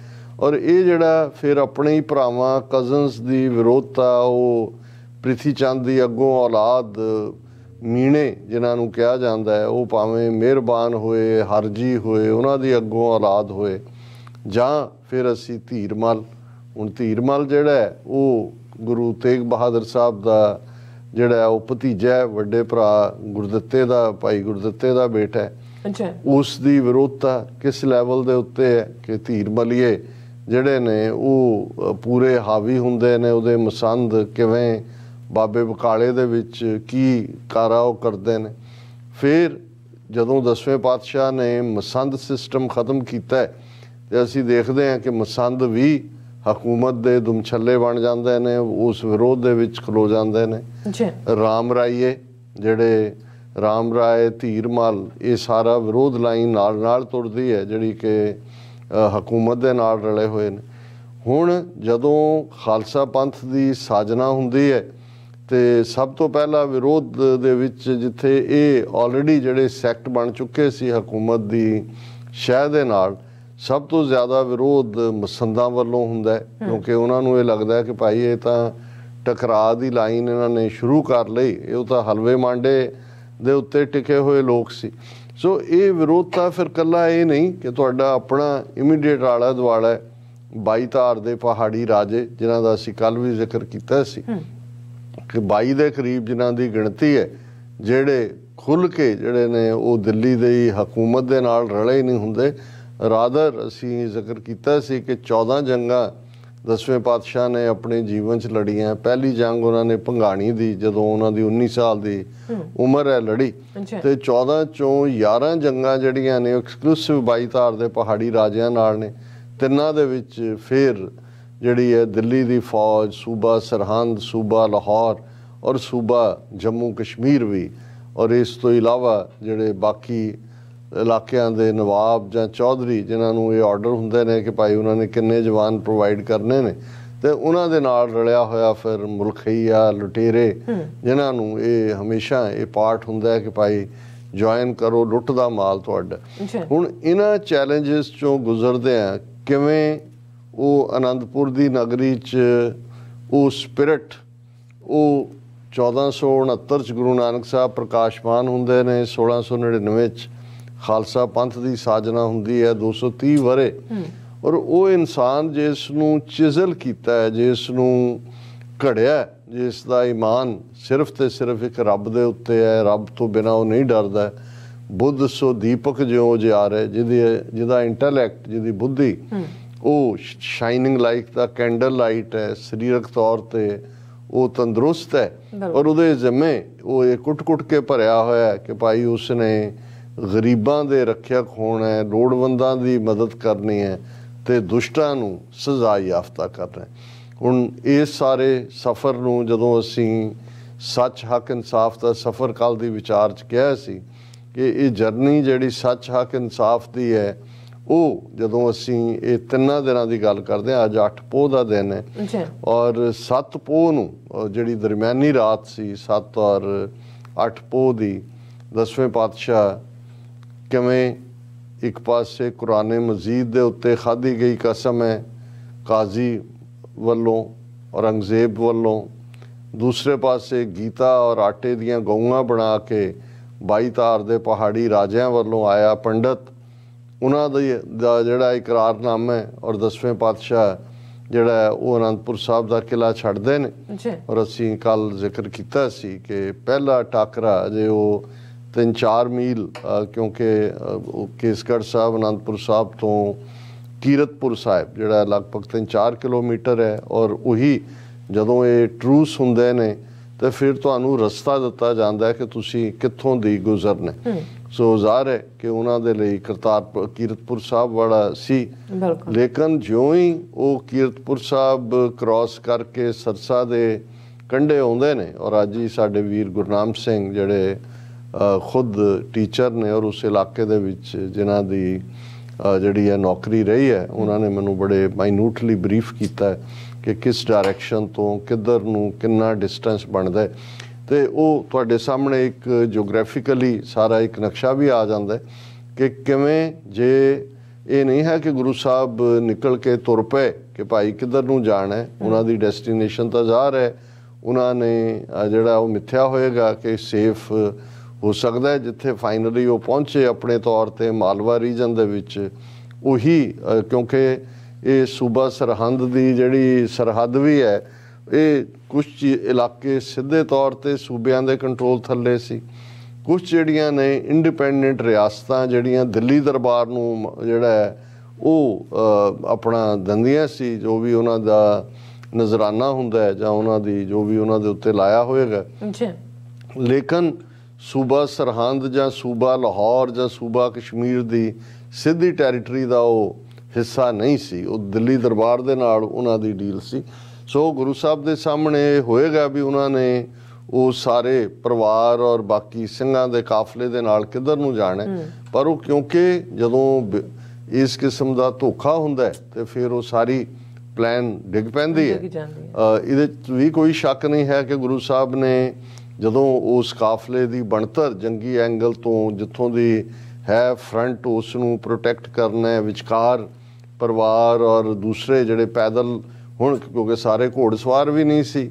ਬਹੁਤ ਸਾਰੇ ਜਿਹੜੇ ਨੇ ਪੈਦਲ ਸਿੱਖ ਸੀ ਜਿਹੜੇ ਨਿਕਲੇ ਅਨੰਦਪੁਰ ਦੇ ਕਿਲੇ ਚੋਂ। ਸੋ ਫਿਰ ਰੇਅਰ ਐਂਡ ਜਿਹਨੂੰ ਕਹਿੰਦੇ ਨੇ ਬੈਕ ਔਰ ਜਿਵੇਂ ਅਸੀਂ ਜ਼ਿਕਰ ਕੀਤਾ ਸੀ ਕਿ ਜਨਰਲ ਜਿਹੜੇ ਗੁਰੂ ਸਾਹਿਬ ਦੇ ਵੱਡੇ ਜਰਨੈਲਾਂ ਚੋਂ ਉਦੈ ਸਿੰਘ ਔਰ ਸਾਹਿਬਜ਼ਾਦਾ ਅਜੀਤ ਸਿੰਘ ਉਹ ਰੇਅਰ ਨੂੰ ਪਿਛਲੇ ਐਂਡ ਨੂੰ ਜਿਹੜਾ ਗਾਰਡ ਕਰ ਰਹੇ ਨੇ। ਔਰ ਜਿਉਂ ਹੀ ਉਹ ਕਾਫਲਾ ਜਿਹੜਾ ਹੈ ਉਹ ਪਹੁੰਚਦਾ ਹੈ ਸਰਸਾ ਦੇ ਕੰਢੇ ਤੇ ਪਿਛਲੇ ਪਾਸਿਓਂ ਹਮਲਾ ਹੁੰਦਾ ਹੈ। ਹੁਣ ਸਟ੍ਰੈਟਜੀ ਇਹੀ ਹੁੰਦੀ ਹੈ ਕਿ ਵੀ ਇੱਕ ਪਾਸੇ ਉਸ ਹਮਲੇ ਨੂੰ ਤੁਸੀਂ ਰੋਕ ਕੇ ਲੜ ਰਹੇ ਹੋ ਘੇਰਾ ਘੇਰਾ 1 2 3 ਤਾਂ ਕਿ ਤੁਹਾਡੇ ਅੰਦਰਲੇ ਜਿਹੜੇ ਨੇ ਉਹ ਮਹਿਫੂਜ਼ ਹੋਣ ਤੇ ਦੂਸਰੇ ਤੁਸੀਂ ਅੱਗੇ ਵਧਦੇ ਵੀ ਜਾਂਦੇ ਹੋ ਪਰ ਜਿਵੇਂ ਅਸੀਂ ਜ਼ਿਕਰ ਕੀਤਾ ਸੀ ਬੇਸ਼ੱਕ ਜਦੋਂ ਅਸੀਂ 3 ਸਦੀਆਂ ਪਹਿਲਾਂ ਦੇ ਉਸ ਖਿੱਤੇ ਦੀ ਜੀਓਗ੍ਰਾਫੀ ਨੂੰ ਟੋਪੋਗ੍ਰਾਫੀ ਨੂੰ ਦੇਖਦੇ ਹਾਂ ਤੇ ਬਹੁਤ ਕੁਝ ਬਦਲਿਆ ਹੋਇਆ। ਅੱਜ ਜਦੋਂ ਅਸੀਂ ਔਰ ਜਦੋਂ ਕੀਰਤਪੁਰ ਸਾਹਿਬ ਗੁਰੂ ਸਾਹਿਬ ਨੇ ਵਸਾਇਆ ਛੇਵੇਂ ਪਾਤਸ਼ਾਹ ਨੇ ਆਪਣੇ ਜੀਵਨ ਦੇ ਅਖੀਰਲੇ 18 ਸਾਲ ਉੱਥੇ ਗੁਜ਼ਾਰੇ। ਸੋ ਇਹ ਜਿਹੜੀ ਜੰਗ ਅਲਟੀਮੇਟਲੀ ਗੁਰੂ ਹਰਗੋਬਿੰਦ ਸਾਹਿਬ ਦੇ ਪੋਤੇ ਗੁਰੂ ਗੋਬਿੰਦ ਸਿੰਘ ਸਾਹਿਬ ਨੇ ਲੜੀ ਔਰ ਅਨੰਦਪੁਰ ਦੇ ਕਿਲੇ 'ਚ ਜਿਵੇਂ ਉਹਨਾਂ ਨੇ ਅ, 30 ਸਾਲ ਤੋਂ ਜ਼ਿਆਦਾ ਜਿਹੜਾ ਗੁਜ਼ਾਰਿਆ ਇਹ ਇਲਾਕੇ ਦਾ ਚੁਣਨਾ ਹੀ ਜਿਹੜਾ ਆਪਣੇ ਆਪ 'ਚ ਜੰਗੀ ਐਂਗਲ ਤੋਂ ਕਿਉਂਕਿ ਅੱਜ ਜਿਵੇਂ ਅੱਜ ਤਾਂ ਤੁਸੀਂ ਸਾਰਾ ਪੰਜਾਬ 5 ਘੰਟੇ ਦੇ ਵਿੱਚ ਗਾਹ ਲੈਂਦੇ ਹੋ ਇੱਕ ਸਿਰੇ ਤੋਂ ਦੂਸਰੇ ਸਿਰੇ ਤੱਕ ਪਹੁੰਚ ਜਾਂਦੇ ਹੋ। ਪਰ ਉਦੋਂ ਅਨੰਦਪੁਰ ਸਾਹਿਬ ਤੱਕ ਇਹ ਬੜਾ ਡੈਂਸ ਜੰਗਲ ਦਾ ਇਲਾਕਾ ਵੱਡੇ ਵੱਡੇ ਝਾੜ ਬੜੇ ਬੜੇ ਜੰਗਲ ਔਰ ਇਹਨਾਂ ਜੰਗਲਾਂ ਦੇ ਵਿੱਚ ਹੀ ਗੁਰੂ ਸਾਹਿਬ ਨੇ ਸ਼ੇਰ ਦਾ ਸ਼ਿਕਾਰ ਵੀ ਕੀਤਾ। ਛੇਵੇਂ ਪਾਤਸ਼ਾਹ ਨੇ ਵੀ ਕੀਤਾ ਦਸਵੇਂ ਪਾਤਸ਼ਾਹ ਨੇ ਵੀ ਕੀਤਾ ਔਰ ਸਿੱਖ ਜਦੋਂ ਉਹਨਾਂ ਦੀ ਆਮ ਟ੍ਰੇਨਿੰਗ ਵੀ ਹੋਈ ਹੈ ਉਹ ਸ਼ਿਕਾਰ ਦੇ ਉੱਤੇ ਚੜ੍ਹਦੇ ਸੀ ਤੋਂ ਸ਼ਿਕਾਰ ਅੱਜ ਉੱਥੇ ਤੁਹਾਡੇ ਲਈ ਕਿਹੜੀ ਥਾਂ ਬਚੀ ਹੈ ਸ਼ਿਕਾਰ ਦੇ ਲਈ। ਸੋ ਕਹਿਣ ਦਾ ਮਤਲਬ ਇਹ ਹੈ ਵੀ ਇਸੇ ਤਰ੍ਹਾਂ ਕੁਝ ਜਿਹੜਾ ਵਾਟਰ ਸਟਰੀਮਸ ਨੇ ਉਹਨਾਂ ਦੇ ਲਈ ਵੀ ਲਫ਼ਜ਼ ਬਦਲਦੇ ਰਹਿੰਦੇ ਨੇ। ਛੋਟੇ ਨੂੰ ਨਾਲਾ ਕਿਹਾ ਜਾਂਦਾ ਹੈ ਪਹਾੜੀ ਡਾਇਲੈਕਟ ਦੇ ਵਿੱਚ ਜਿਹੜੀ ਹੁਸ਼ਿਆਰਪੁਰ ਦੇ ਵੀ ਕਾਂਗੜੇ ਦੇ ਵੀ ਰੋਪੜ ਦੇ ਵੀ ਡਾਇਲੈਕਟ ਦੇ ਵਿੱਚ ਖੱਡ ਲਫ਼ਜ਼ ਵੀ ਇਸਤੇਮਾਲ ਹੁੰਦਾ ਹੈ। ਉਹਨੂੰ ਔਰ ਉਹਦੇ 'ਚ ਜਦੋਂ ਜ਼ਿਆਦਾ ਪਾਣੀ ਉਹੀ ਵੱਡਾ ਹੋ ਜਾਏ ਤੇ ਉਹ ਨਦੀ ਵੀ ਉਸ ਨੂੰ ਕਹਿ ਦਿੰਦੇ ਨੇ। ਕਈ ਵਾਰ ਕਿਉਂਕਿ ਇਹ ਜਿਹੜੇ ਲਫ਼ਜ਼ ਦਰਿਆ ਜਾਂ ਜਦੋਂ ਅਸੀਂ ਦਰਿਆ ਜਾਂ ਦੂਸਰਾ ਕਹਿੰਦੇ ਸਾਨੂੰ ਲੱਗਦਾ ਵੀ ਬਹੁਤ ਵੱਡਾ ਹੈ। ਪਰ ਲੋਕਲ ਚ ਨਦੀ ਵੀ ਨਦੀ ਲਫ਼ਜ਼ ਵੀ ਰਿਵਰ ਤੁਸੀਂ ਅੰਗਰੇਜ਼ੀ ਦੇ ਉਹਨਾਂ ਲਫ਼ਜ਼ਾਂ ਨੂੰ ਹੀ ਦੇਖਦੇ ਹੋ। ਕਿ ਜਿਹਦੇ ਚ ਔਰ ਇਹ ਜੇ ਸਰਸਾ ਜਿਹਨੂੰ ਖੂਨੀ ਸਰਸਾ ਕਿਹਾ ਗਿਆ ਉਹ ਕਿਸ ਪੱਧਰ ਤੇ ਚੜਿਆ ਹੋਏਗਾ? ਪਾਣੀ ਦਾ ਲੈਵਲ ਵੀ ਹਾਲਾਂ ਸਰਦੀਆਂ ਦੇ ਵਿੱਚ ਤਾਂ ਜੇ ਅਸੀਂ ਉਸ ਖਿੱਤੇ 'ਚ ਦੇਖੀਏ ਮੌਨਸੂਨ ਦੇ ਜਿਹੜੇ ਮੀਂਹ ਨੇ ਉਹ ਤਾਂ ਜੁਲਾਈ ਅਗਸਤ ਦੇ ਵਿੱਚ ਪੈਂਦੇ ਨੇ। ਸਰਦੀਆਂ 'ਚ ਘੱਟ ਮੀਂਹ। ਪਰ ਜਦੋਂ ਪਹਾੜਾਂ ਦੇ ਉੱਤੇ ਮੀਂਹ ਪੈਂਦਾ ਹੈ ਉਹ ਆਲਰੇਡੀ ਪਾਣੀ ਚੜਿਆ ਹੋਇਆ ਸੀ। ਔਰ ਉਸ ਦਿਨ ਜਿਵੇਂ ਸਾਡੇ ਇਤਿਹਾਸਕ ਸਰੋਤ ਦੱਸਦੇ ਨੇ ਕਿ ਬਹੁਤ ਕਾਲੀ ਬੋਲੀ ਰਾਤ ਪਰ ਨਾਲ ਬਹੁਤ ਜ਼ੋਰਦਾਰ ਮੀਂਹ। ਔਰ ਉਸ ਦੇ ਜਦੋਂ ਅਸੀਂ ਸਰਸਾ ਦੇ ਦਰਿਆ ਨੂੰ ਕ੍ਰਾਸ ਕਰਦੇ ਹੋਏ ਬਹੁਤ ਸਾਰੇ ਜਿਹੜੇ ਪੈਦਲ ਸੀ ਉਹ ਤਾਂ ਰੁੜ ਗਏ ਜਾਂ ਉੱਥੇ ਲੜਦੇ ਆ ਸ਼ਹੀਦ ਹੋ ਗਏ। ਔਰ ਦਸਵੇਂ ਪਾਤਸ਼ਾਹ ਫਾਈਨਲੀ 40 ਸਿੱਖਾਂ ਦੇ ਨਾਲ ਔਰ ਉਹਨਾਂ ਦੇ ਨਾਲ ਪੰਜ ਪਿਆਰੇ ਵੀ ਨੇ, ਵੱਡੇ ਸਾਹਿਬਜ਼ਾਦੇ, ਸਾਹਿਬਜ਼ਾਦਾ ਅਜੀਤ ਸਿੰਘ, ਸਾਹਿਬਜ਼ਾਦਾ ਜੁਝਾਰ ਸਿੰਘ, ਉਹ ਕ੍ਰਾਸ ਕਰਦੇ ਨੇ। ਦੂਸਰੇ ਪਾਸੇ ਮਾਤਾ ਸਾਹਿਬ ਕੌਰ ਜੀ, ਮਾਤਾ ਸੁੰਦਰੀ ਜੀ, ਉਹ ਭਾਈ ਮਨੀ ਸਿੰਘ ਔਰਾਂ ਦੇ ਨਾਲ ਉਹ ਇੱਕ ਅਲੱਗ ਜਥੇ ਦੇ ਰੂਪ ਚ ਉਹਨਾਂ ਬਾਰੇ ਵੀ ਆਂਦਾ ਹੈ ਕਿ ਰੋਪੜ ਚੋਂ ਰੁਕੇ ਬਾਅਦ ਚ ਉਹ ਦਿੱਲੀ ਵੱਲ ਰਵਾਨਾ ਹੋਏ ਜਿੱਥੇ ਕਿ ਉਹਨਾਂ ਨੇ ਕਾਫੀ ਵਕਤ ਜਿਹੜਾ ਪਹਿਲਾਂ ਜ਼ਾਹਰ ਹੈ ਲੋਕ ਛਿਪਕੇ ਹੀ ਹੋਏਗਾ। ਔਰ ਤੀਸਰਾ ਜਿਹੜਾ ਅਸੀਂ ਦੇਖਦੇ ਹਾਂ ਜਿਨ੍ਹਾਂ ਦਾ ਜ਼ਿਕਰ ਆਉਣ ਵਾਲੇ ਕਿਉਂਕਿ ਇਹ ਸਾਰੇ ਇਲਾਕੇ ਦੇ ਵਿੱਚ ਹੁਣ ਤਾਂ ਸ਼ਹੀਦੀ ਜੋੜ ਮੇਲਾ ਲਫ਼ਜ਼ ਅਸੀਂ ਇਸਤੇਮਾਲ ਕਰਦੇ ਪਰ ਅਜੇ ਵੀ ਜਿਹੜੇ ਉੱਥੇ ਰਹਿਣ ਵਾਲੇ ਨੇ ਉਹਨੂੰ ਸਭਾ ਕਹਿੰਦੇ ਨੇ ਕਿ ਔਰ ਇਹ ਦੋ ਵੱਡੀਆਂ ਸਭਾਵਾਂ ਹੁੰਦੀਆਂ ਸੀ 6 7 8 ਪੋਹ ਨੂੰ ਚਮਕੌਰ ਸਾਹਿਬ ਕਿਉਂਕਿ ਇਹੀ ਦਿਨ 6 ਤਰੀਕ ਦਾ ਰਾਤ ਦਾ ਕਿਲਾ ਛੱਡਣਾ 7 ਦੇ ਸਫ਼ਰ ਦੀ ਗੱਲ ਔਰ 8 ਨੂੰ ਫਾਈਨਲ ਸ਼ਹੀਦੀਆਂ ਜਦੋਂ ਸਾਹਿਬਜ਼ਾਦੇ ਸ਼ਹੀਦ ਵੀ ਹੋ ਜਾਂਦੇ ਨੇ ਔਰ ਗੁਰੂ ਕਲਗੀਧਰ ਪਾਤਸ਼ਾਹ ਮਿਡਨਾਈਟ ਨਿਕਲਦੇ ਨੇ ਉਹਦਾ ਅਸੀਂ ਜ਼ਿਕਰ ਕਰਾਂਗੇ। ਤੇ ਫਿਰ ਜਿਹੜੇ ਗੜੀ ਦੇ ਅੰਦਰ ਰਹਿ ਗਏ ਸਿੰਘ ਨੇ ਭਾਈ ਸੰਗਤ ਸਿੰਘ ਜਿਹੜਾ ਨੇ ਗੁਰੂ ਕੀ ਪੋਸ਼ਾਕ ਪਹਿਨੀ ਹੈ ਗੁਰੂ ਸਾਹਿਬ ਨੇ ਆਪ ਆਪਣੀ ਜਗ੍ਹਾ ਕਲਗੀ ਬਖਸ਼ੀ ਭਾਈ ਸੰਤ ਸਿੰਘ ਔਰ ਜਿਹੜੇ ਵੀ ਰਿਮੇਨਿੰਗ ਉਹਨਾਂ ਦੀ ਸ਼ਹਾਦਤ ਜਿਹੜੀ ਹੈ ਉਹ 8 ਪੋਹ ਨੂੰ ਹੁੰਦੀ ਹੈ। ਇਸ ਲਈ ਚਮਕੌਰ ਦੇ ਵਿੱਚ ਜਿਹੜਾ ਇਕੱਠ ਹੁੰਦਾ ਸੀ ਉਹਨੂੰ ਚਮਕੌਰ ਦੀ ਸਭਾ ਕਹਿੰਦੇ ਸੀ। ਔਰ ਇਹ ਜਿਹੜੀ ਹੈ 6 7 8 ਦੇ ਨਾਲ ਜੁੜਿਆ ਹੋਇਆ ਔਰ ਇਸੇ ਤਰ੍ਹਾਂ ਸਾਕਾ ਸਰਹੰਦ ਜਿਸ ਨੂੰ ਅਸੀਂ ਜਿਹੜੀ ਸਭਾ ਵੱਡੀ ਫਤਿਹਗੜ੍ਹ ਸਾਹਿਬ ਦੇ ਮੁਕਾਮ ਤੇ ਸਿਟੀ ਤਾਂ ਸਰਹੰਦ ਹੈ ਔਰ ਇਹ ਵੀ ਧਿਆਨ ਰਹੇ ਵੀ ਇਹ ਸਰਹੰਦ ਉਹ ਨਹੀਂ ਹੈ ਜਿਹੜੀ ਉਦੋਂ ਵਸਦੀ ਸੀ। ਉਹ ਤਾਂ ਫਿਰ ਖਾਲਸੇ ਨੇ ਬਦਲੇ ਦੇ ਵਿੱਚ ਜਿਵੇਂ ਉਸ ਨੂੰ ਉਜਾੜਿਆ, ਇਹ ਸਰਹੰਦ ਉਸ ਤੋਂ ਦੋ ਤਿੰਨ ਕੋ ਜਿਹੜੀ ਹੈ ਉਹ ਵੱਖਰੀ ਜਿਹੜੀ ਹੈ ਉਜੜ ਕੇ ਵਸੀ ਹੋਈ ਹੈ, ਜਿਹਨੂੰ ਥੇ ਬਣਾ ਦਿੱਤਾ ਸੀ। ਔਰ ਹੁਣ ਵੀ ਉਸ ਇਲਾਕੇ ਦੇ ਵਿੱਚ ਜਦੋਂ ਕਈ ਵਾਰ ਨਵੀਂ ਉਸਾਰੀਆਂ ਦੇ ਲਈ ਕੋਈ ਖੁਦਾਈ ਕੀਤੀ ਜਾਂਦੀ ਹੈ ਤੇ ਥੱਲੋਂ ਉਹੀ ਪੁਰਾਣੀਆਂ ਇੱਟਾਂ ਔਰ ਪੁਰਾਣੀਆਂ ਚੀਜ਼ਾਂ ਨਿਕਲਦੀਆਂ ਨੇ ਹੁਣ ਤੱਕ ਵੀ ਇਹ ਰਿਹਾ। ਔਰ ਇਹ ਖਾਲਸੇ ਦੀ ਇਸ ਦ੍ਰਿੜਤਾ ਦਾ ਸਬੂਤ ਵੀ ਹੈ ਕਿ ਜਦੋਂ ਫਿਰ ਜਦੋਂ ਸਿੰਘਾਂ ਨੇ ਇਸ ਦਾ ਬਦਲਾ ਲਿਆ ਤਾਂ ਫਿਰ ਉਸ ਸਰਹੰਦ ਦੀ ਇੱਟ ਨਾਲ ਇੱਟ ਕਿਵੇਂ ਖੜਕਾਈ ਔਰ ਇਹ ਜਿਹੜੀ ਸ਼ਹਾਦਤ ਹੈ ਕਿਉਂਕਿ ਇਹ ਇੱਕ ਸਾਰਾ ਟਾਈਮ ਫਰੇਮ ਦੇ ਵਿੱਚ ਹੁਣ ਤਾਂ ਜਿਵੇਂ ਮੈਂ ਕਿਹਾ ਸੀ ਕਿ ਬਈ ਇੱਕ ਚੰਗੀ ਗੱਲ ਹੈ ਕਿ ਸਫਰੇ ਸ਼ਹਾਦਤ ਦੇ ਨਾਂ ਥੱਲੇ ਨਗਰ ਕੀਰਤਨ ਦੀ ਸ਼ੁਰੂਆਤ ਅਨੰਦਪੁਰ ਸਾਹਿਬ ਤੋਂ ਹੁੰਦੀ ਹੈ ਔਰ ਉਹਦੇ ਨਾਲ ਫਿਰ ਇਹ ਜਿਹੜੇ ਸਾਡੇ ਬੜੇ ਅਹਿਮ ਸਥਾਨ ਨੇ ਉਹਨਾਂ ਦੇ ਉੱਤੇ ਫੋਕਸ ਹੁੰਦਾ ਹੈ। ਕੁਝ ਜਿਨ੍ਹਾਂ ਦਾ ਪਹਿਲਾਂ ਕਦੇ ਜ਼ਿਕਰ ਨਹੀਂ ਸੀ ਹੁੰਦਾ ਉਹਨਾਂ ਦਾ ਜ਼ਿਕਰ ਵੀ ਹੁਣ ਹੋਣ ਲੱਗ ਗਿਆ। ਇਹ ਵੱਖਰੀ ਗੱਲ ਹੈ ਕਿ ਸਿੱਖ ਹਿਸਟੋਰੀਕਲ ਸੋਰਸਸ ਜਾਂ ਇਹ ਸ਼੍ਰੋਮਣੀ ਕਮੇਟੀ ਦਾ ਕੋਈ ਜ਼ਿੰਮੇਵਾਰੀ ਦਾ ਅਹਿਸਾਸ ਹੁੰਦਾ ਤੇ ਉਹ ਖੁਦ ਹੀ ਹਿਸਟੋਰੀਅਨਸ ਦਾ ਸਿੱਖ ਇਤਿਹਾਸਕਾਰਾਂ ਦਾ ਕੋਈ ਬੋਰਡ ਬਣਾਉਂਦੀ ਤਾਂ ਕਿ ਇਹ ਨਾ ਹੋਏ ਵੀ ਹੌਲੀ ਹੌਲੀ ਫੇਕ ਹਿਸਟਰੀ ਵੀ ਨਾਲ ਰਲਦੀ ਚਲੀ ਜਾਏ ਤੇ ਫਿਰ ਜਿਹੜਾ ਵਕਤ ਪਾ ਕੇ ਕੁਝ ਸਦੀਆਂ ਬਾਅਦ ਅਸਲੀ ਇਤਿਹਾਸ ਦੇ ਉੱਤੇ ਵੀ ਸਵਾਲ ਚੁੱਕੇ ਜਾਣ ਕਿਉਂਕਿ ਜਿਵੇਂ ਅਸੀਂ ਕੱਲ ਵੀ ਕਿਹਾ ਸੀ ਕਿ ਜਿਹੜਾ ਡਾਇਰੈਕਟ ਅਕਾਊਂਟ ਜਦੋਂ ਅਸੀਂ ਚਮਕੌਰ ਦੀ ਗੜੀ ਦੇ ਜੰਗ ਦੀ ਗੱਲ ਕਰਦੇ ਹਾਂ ਜੀ। ਤੇ ਗੁਰੂ ਕਲਗੀਧਰ ਪਾਤਸ਼ਾਹ ਦਾ ਜ਼ਫਰਨਾਮਾ ਹੈ ਜਿਸ ਨੂੰ ਜਿਹੜੀ ਉਹਨਾਂ ਦੀ ਕ੍ਰਿਤ ਹੈ ਜਿਹਨੂੰ ਕੋਈ ਡਿਨਾਈ ਨਹੀਂ ਕਰ ਸਕਦਾ। ਹੋਰ ਬਹੁਤ ਸਾਰੇ ਸੋਰਸ ਜਿਹੜੇ ਨੇ ਉਹ ਸੈਕੰਡਰੀ ਕੋਰਸ ਸੋਰਸ ਨੇ। 52 ਕਵੀਆਂ ਚੋਂ ਦਸਵੇਂ ਪਾਤਸ਼ਾਹ ਦਾ ਇੱਕ ਕਵੀ ਸੈਨਾਪਤੀ ਉਹਨਾਂ ਦੀ ਰਚਨਾ ਨੂੰ ਅਸੀਂ ਕੋਟ ਕਰਦੇ। ਹਾਂ। ਔਰ ਹੁਣ ਤਾਂ ਬਹੁਤ ਸਾਰੇ ਜਿਹੜੇ ਮੈਂ ਦੇਖਿਆ ਹੈ ਰਾਗੀ ਵੀ ਪ੍ਰਚਾਰਕ ਵੀ ਸਟੈਂਡਰਡ ਕਥਾਵਾਚਕ ਵੀ ਅੱਲਾ ਯਾਰ ਖਾਂ ਯੋਗੀ ਜਿਹੜੇ 19ਵੀਂ ਸਦੀ ਦੇ ਅਖੀਰ ਤੋਂ 20ਵੀਂ ਸਦੀ ਚ ਹੋਏ ਨੇ ਉਹਨਾਂ ਵੱਲੋਂ ਲਿਖੇ ਦੋਨੋਂ ਹੀ ਵਾਕਿਆਤ ਜਿਹੜੀ ਹੈ ਉਹ ਸਾਕਾ ਸਰਹੰਦ ਵੀ ਔਰ ਚਮਕੌਰ ਵੀ। ਹੁਣ ਬਹੁਤ ਸਾਰੇ ਜਿਹੜਾ ਉਹਨਾਂ ਦਾ ਦਿੱਤਾ ਵੇਰਵਾ ਜਿਹਦੇ ਚ ਫਿਰ ਥੋੜੀ ਬਹੁਤ ਵੇਰੀਏਸ਼ਨ ਹੈ ਕੁਝ ਟ੍ਰੈਡੀਸ਼ਨ ਨਾਲੋਂ। ਪਰ ਉਹ ਉਹਦਾ ਇੰਨਾ ਜ਼ਬਰਦਸਤ ਪੁੱਲ ਹੈ ਔਰ ਇੰਨੀ ਜ਼ਬਰਦਸਤ ਉਹ ਟ੍ਰਿਬਿਊਟ ਹੈ ਅੱਲਾ ਯਾਰ ਖਾਨ ਦੀ ਕਿ ਬਹੁਤ ਸਾਰੇ ਜਿਹੜੇ ਨੇ ਇਤਿਹਾਸ ਉਹਦੇ ਦੁਆਲੇ ਹੀ ਉਹਨਾਂ ਦੀਆਂ ਦੋਨੋਂ ਹੀ ਜਿਹੜੀ ਹੈ ਨਜ਼ਮਾਂ ਦੇ ਦੁਆਲੇ ਉਹ ਵੀ ਵਿਨ ਕਰਦੇ ਨੇ। ਪਰ ਅਸੀਂ ਜਿੰਨਾ ਕੁ ਜਿਵੇਂ ਕੱਲ ਵੀ ਅਸੀਂ ਇਹ ਕਿਹਾ ਸੀ ਕਿ ਵੀ ਅਸੀਂ ਇਹ ਦਾਵਾ ਨਹੀਂ ਕਰਦੇ ਕਿ ਜੋ ਅਸੀਂ ਦੇ ਰਹੇ ਹਾਂ ਘਟਨਾਕ੍ਰਮ ਜਾਂ ਟਾਈਮ ਲਾਈਨ ਜਾਂ ਇਵਨ ਪਲੇਸ ਉਹਦੇ ਮੁਤਾਬਕ ਹੀ ਹੈ। ਇਹਦੇ ਚ ਵੇਰੀਡ ਸੋਰਸਸ ਨੇ। ਕੁਝ ਜਿਹੜੇ ਨੇ ਭਾਈ ਸੰਤੋਖ ਸਿੰਘ ਹੋਰਾਂ ਨੇ ਆਪਣੇ ਢੰਗ ਨਾਲ ਬਿਆਨੇ ਗਿਆਨੀ ਗਿਆਨ ਸਿੰਘ ਹੋਰਾਂ ਦਾ ਤਵਾਰੀ ਗੁਰੂ ਖਾਲਸਾ ਵੀ ਬਿਆਨਦਾ ਹੈ। ਔਰ ਮਾਡਰਨ ਪੀਰੀਅਡ ਦੇ ਵਿੱਚ ਜਦੋਂ ਅਸੀਂ ਮਾਡਰਨ ਹਿਸਟਰੀਓਗ੍ਰਾਫੀ ਜਿਨ੍ਹਾਂ ਦੇ ਵਿੱਚ Bhai Sahib Bhai Kahn Singh Nabha doctor Ganda Singh sir Karam Singh historian. So ਉਹਨਾਂ ਨੇ ਉਸ ਸਪਿਰਿਟ ਨੂੰ ਕੈਰੀ ਔਨ ਕੀਤਾ ਕੁਝ ਚੀਜ਼ਾਂ ਜਿਹੜੀਆਂ ਰਵਾਇਤੀ ਤੌਰ ਦੇ ਉੱਤੇ ਸੀਨਾ ਬਸੀਨਾ ਤੁਰੀਆਂ ਆਉਂਦੀਆਂ ਸੀ, ਉਹਨਾਂ ਨੂੰ ਅੱਜ ਵੀ ਅਸੀਂ ਯਾਦ ਕਰਦੇ ਹਾਂ ਜੋ ਇਲਾਕੇ ਦੇ ਲੋਕਾਂ ਦੇ ਵਿੱਚ ਜਿਵੇਂ ਜਦੋਂ ਇਹ ਸਭਾ ਦੇ ਦਿਨ ਸ਼ੁਰੂ ਹੁੰਦੇ ਨੇ, ਕਿਉਂਕਿ ਇਹ 6 ਪੋਹ ਤੋਂ ਇਸ ਦੀ ਸ਼ੁਰੂਆਤ ਹੁੰਦੀ ਹੈ ਔਰ 13 ਪੋਹ ਤੱਕ ਆਲਮੋਸਟ ਇਹ ਜਿਹੜੇ ਨੇ 7 ਦਿਨ ਬਣਦੇ ਨੇ। ਉਸ ਇਲਾਕੇ ਦੇ ਵਿੱਚ ਕੋਈ ਮੰਜੇ ਤੇ ਨਹੀਂ ਸੌਂਦਾ ਘਰਾਂ ਦੇ ਵਿੱਚ ਵੀ ਬਹੁਤ ਘੱਟ ਖਾਣਾ ਖਾਦਾ ਜਾਂਦਾ ਉਹ ਵੀ ਸਾਦਾ ਦਾਲ ਪ੍ਰਸ਼ਾਦਾ। ਔਰ ਇਵੇਂ ਹੀ ਜਿਹੜਾ ਉਹ ਇਹ ਨਹੀਂ ਹੈ ਕਿ ਵੀ ਉਹਨੂੰ ਤੁਸੀਂ ਕੋਈ ਗਮ ਦੇ ਤੌਰ ਤੇ ਜਾਂ ਸੋਗ ਦੇ ਤੌਰ ਤੇ ਮਨਾਉਂਦੇ ਹੋ ਪਰ ਇਹ ਉਵੇਂ ਹੀ ਰੋਹਾਨੀਅਤ ਦੀ ਦੁਨੀਆ ਦੇ ਅੰਦਰ ਤੁਸੀਂ ਉਹਨਾਂ ਪਲਾਂ ਨੂੰ ਵਿਜ਼ਿਟ ਕਰਦੇ ਹੋ ਆਪਣੇ ਗੁਰੂ ਦੀ ਕੁਰਬਾਨੀ ਜੋ ਸਰਬੰਸਤਾਨੀ ਪਿਤਾ ਜਿਵੇਂ ਤੁਸੀਂ ਕਿਹਾ ਕਿ ਵੀ ਉਹਨਾਂ ਨੇ ਇਹ ਦਸਵੇਂ ਪਾਤਸ਼ਾਹ ਨੇ ਹੀ ਜਦੋਂ ਮਾਤਾ ਜੀ ਜਿਨ੍ਹਾਂ ਨੂੰ ਕਿਉਂਕਿ ਹੁਣ ਪਰਿਵਾਰ ਵਿਛੜਿਆ ਹੈ ਉਹਨਾਂ ਦੇ ਸਾਹਿਬਜ਼ਾਦਿਆਂ ਦੀ ਮਾਤਾ ਨੂੰ ਵੀ ਨਹੀਂ ਪਤਾ ਔਰ ਇਸ ਗੱਲ ਦਾ ਵੀ ਧਿਆਨ ਰਹੇ। ਮੈਂ ਅੱਜ ਅੱਜ ਦੀ ਆਵਾਜ਼ ਪ੍ਰੋਗਰਾਮ 'ਚ ਵੀ ਇਹ ਕਿਹਾ ਸੀ ਕਿ ਸਾਹਿਬਜ਼ਾਦਾ ਅਜੀਤ ਸਿੰਘ ਜਿਹੜੇ ਸਭ ਤੋਂ ਵੱਡੇ ਨੇ ਲਗਭਗ 18 ਸਾਲ ਦੀ ਉਹਨਾਂ ਦੀ ਉਮਰ ਹੈ ਉਹਨਾਂ ਦਾ ਜਨਮ ਉਸ ਦਿਨ ਹੀ ਲਗਭਗ ਹੁੰਦਾ ਹੈ ਜਿਸ ਦਿਨ 19 ਸਾਲ ਦੀ ਉਮਰ ਦੇ ਦਸਵੇਂ ਪਾਤਸ਼ਾਹ ਪੰਗਾਣੀ ਦਾ ਯੁੱਧ ਫਤਹ ਕਰਦੇ ਨੇ। ਕਿਉਂਕਿ ਪੰਗਾਣੀ ਦਾ ਜੰਗ ਪੌਂਟਾ ਸਾਹਿਬ ਤੋਂ ਕੁਝ ਡਿਸਟੈਂਸ ਦੇ ਉੱਤੇ ਮੈਦਾਨ ਹੈ। ਔਰ ਗੁਰੂ ਸਾਹਿਬ ਨੇ ਹੀ ਪੌਂਟਾ ਵਸਾਇਆ 2.5 ਸਾਲ ਉੱਥੇ ਗੁਰੂ ਸਾਹਿਬ ਰਹੇ।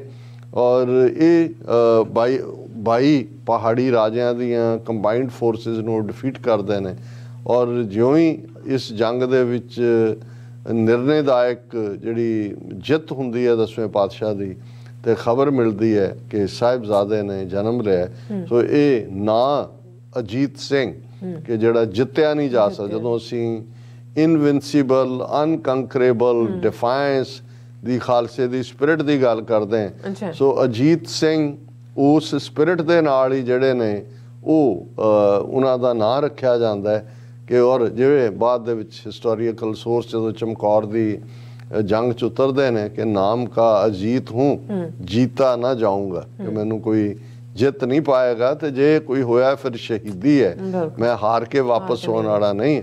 ਔਰ ਦੂਸਰੇ ਤਿੰਨੋਂ ਸਾਹਿਬਜ਼ਾਦੇ ਜੁਝਾਰ ਸਿੰਘ ਜ਼ੋਰਾਵਰ ਸਿੰਘ ਔਰ ਫਤਿਹ ਸਿੰਘ ਉਹਨਾਂ ਦੀ ਪੈਦਾਇਸ਼ ਅਨੰਦਪੁਰ ਸਾਹਿਬ ਦੀ ਹੈ।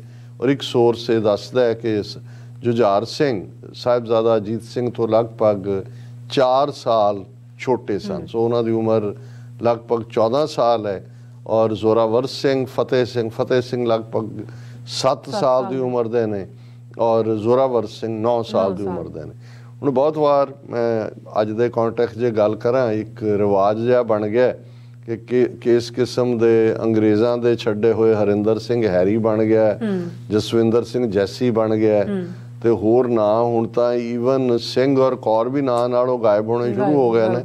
ਔਰ ਜਿਹੜੇ ਉਸ ਕਿਸਮ ਦੇ ਕੋਈ ਸੰਸਕ੍ਰਿਟਾਈਜ਼ ਨਾਂ ਰੱਖਦਾ ਹੈ ਕੋਈ ਐਂਗਲਿਸਾਈਜ਼ ਨਾਂ ਰੱਖਦਾ ਪਰ ਤੁਸੀਂ ਸਪਿਰਿਟ ਦੀ ਗੱਲ ਇਹ ਠੀਕ ਹੈ ਕਿ ਬਈ ਅੱਜ ਜਦੋਂ ਇਹ ਕਿਹਾ ਜਾਂਦਾ ਹੈ ਨੇਮ ਇਜ਼ ਦਾ ਗੇਮ ਬਹੁਤ ਸਾਰੀਆਂ ਚੀਜ਼ਾਂ ਤੁਸੀਂ ਜਿਸ ਚੀਜ਼ ਦੇ ਨਾਲ ਬਿਲਟ ਹੋ ਰਹੇ ਹੁੰਦੇ ਹੋ। ਅੱਛਾ। ਹੁਣ ਜਦੋਂ ਦਸਵੇਂ ਪਾਤਸ਼ਾਹ ਨੇ ਆਪਣੇ ਚਾਰ ਸੁਪੁੱਤਰਾਂ ਦੇ ਨਾਂ ਰੱਖੇ ਤੁਸੀਂ ਨਾਵਾਂ ਵੱਲ ਇੱਕ ਨਜ਼ਰ ਮਾਰੋ।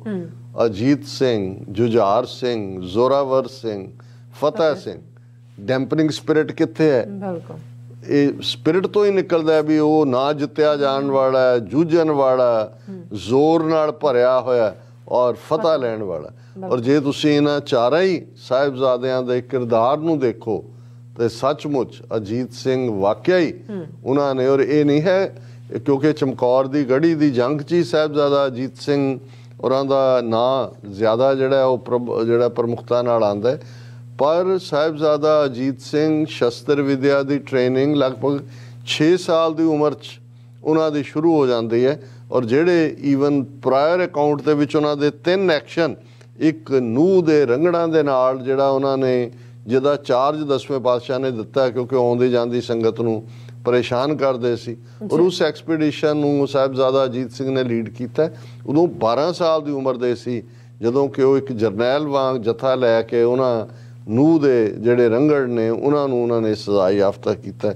ਫਿਰ ਤਾਰਾਗੜ੍ਹ ਤੇ ਨਿਰਮੋਹਗੜ੍ਹ ਇਹ ਦੋਨੋਂ ਜਿਹੜੇ ਇਹ ਪੰਜ ਕਿਲੇ ਉਸ ਅਨੰਦਪੁਰ ਸਾਹਿਬ ਦੀ ਸਰਾਊਂਡਿੰਗ ਦੇ ਵਿੱਚ ਕੇਸਗੜ੍ਹ ਆਨੰਦਗੜ੍ਹ ਜਜ਼ਾਰ ਹੈ। ਹੋਲਗੜ੍ਹ ਤਾਰਾਗੜ੍ਹ ਨਿਰਮੋਹਗੜ੍ਹ।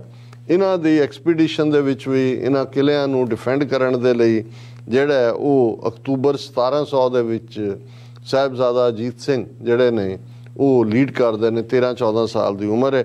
ਔਰ ਇਸੇ ਤਰ੍ਹਾਂ ਇੱਕ ਵਾਕਿਆ ਜਿਹੜਾ ਹੈ ਉਹ ਇੱਕ ਦੇਵਕੀ ਦਾਸ ਨਾਂ ਦਾ ਬ੍ਰਾਹਮਣ ਜਿਸ ਦੀ ਘਰ ਵਾਲੀ ਨੂੰ ਜਿਹੜਾ ਹੈ ਉਹ ਕੋਈ ਚੌਧਰੀ ਜ਼ੁਬਾਰ ਖਾਨ ਜਿਹੜਾ ਡੇਰਾ ਬੱਸੀ ਦਾ ਸੀ ਉਹ ਲੈ ਗਿਆ ਸੀ ਔਰ ਉਸ ਤੋਂ ਉਹਨੂੰ ਫ੍ਰੀ ਜਾ ਕੇ ਕਰਵਾਇਆ ਪੂਰਾ ਜਥਾ ਲੈ ਕੇ ਸਾਹਿਬਜ਼ਾਦਾ ਅਜੀਤ ਸਿੰਘ ਹੈ।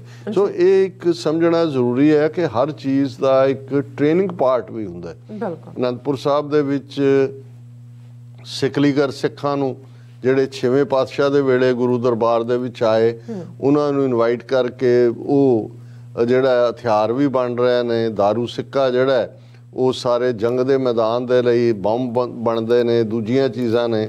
ਅੱਜ ਵੀ ਉਸ ਬੈਲਟ ਦੇ ਵਿੱਚ ਉਹਨਾਂ ਨੂੰ ਦੇਖੋ ਉਹਨੂੰ ਕੱਟਾ ਕਹਿੰਦੇ ਨੇ ਅੱਜ ਦੀ ਜ਼ੁਬਾਨ 'ਚ ਜਦੋਂ ਅਸੀਂ ਜੁਝਾਰੂ ਲਹਿਰ ਵੇਲੇ ਵੀ ਦੇਖਦੇ। ਉਹ ਤੁਸੀਂ ਜਾਓ ਤੁਹਾਨੂੰ ਬੈਠਿਆਂ ਬਣਾ ਕੇ ਦੇ ਦਿੰਦੇ ਨੇ ਦੇਸੀ ਰਿਵਾਲਵਰ ਜਾਂ ਦੇਸੀ ਪਿਸਤੌਲ। ਸੋ ਉਹਨਾਂ ਦੀ ਟ੍ਰੇਨਿੰਗ ਫਿਰ ਜਿਨ੍ਹਾਂ ਨੇ ਸਾਹਿਬਜ਼ਾਦਿਆਂ ਨੂੰ ਟ੍ਰੇਨਡ ਕੀ ਜਦੋਂ ਅਸੀਂ ਹੁਣ ਜਿੰਨੀਆਂ ਇਹ ਕਮਾਂਡ ਜੇ ਉਦੇ ਸਿੰਘ ਨਾਲ ਨੇ ਸਾਹਿਬਜ਼ਾਦਾ ਅਜੀਤ ਸਿੰਘ ਦੇ ਰੇਅਰ ਐਂਡ ਦੇ ਉੱਤੇ ਉਹ ਉਹਨਾਂ ਦੇ ਟੀਚਰ ਵੀ ਇਸੇ ਤਰ੍ਹਾਂ ਜਨਰਲ ਜੀਵਨ ਸਿੰਘ ਭਾਈ ਜੈਤਾ ਜੀ ਜਿਵੇਂ ਕੱਲ ਵੀ ਜ਼ਿਕਰ ਹੋਇਆ ਸੀ।